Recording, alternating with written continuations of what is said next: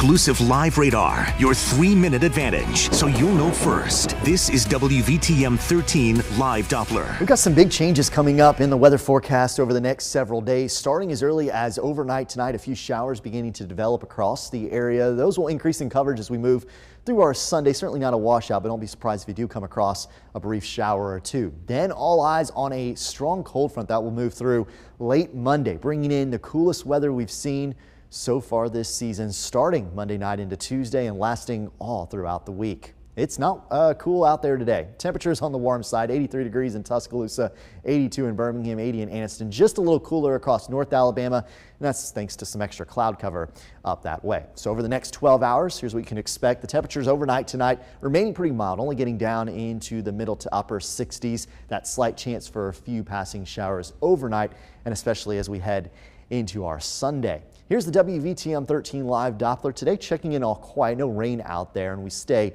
dry, it looks like, through the evening hours. But you can start to see some of that moisture down to our south in the Gulf of Mexico. That's going to start to lift to the north overnight tonight, and that's why we introduced that chance for a few showers into our Sunday forecast. Here's our high resolution forecast model showing a couple of those spotty showers developing overnight through tomorrow morning. Tomorrow afternoon, enough instability we could see a few rumbles of thunder. No severe weather though expected.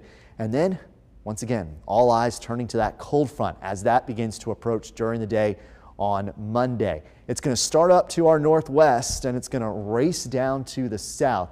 Notice by Monday afternoon, already starting to see some of those showers beginning to move in to northwest Alabama. Those showers increasing across the area through Monday evening into Monday night and lasting through our Tuesday morning. Then behind that front, that's when the big drop in temperatures arrives. Here's our seven day forecast. Tomorrow, 83 degrees, a few showers around. Monday, especially late in the day into early Tuesday, the better chance for rain as the cold front passes through. Check out those high temperatures down into the low 70s Tuesday, Wednesday, Thursday. Nighttime lows getting into the low 50s and upper 40s by the time we get to next weekend. Ryan?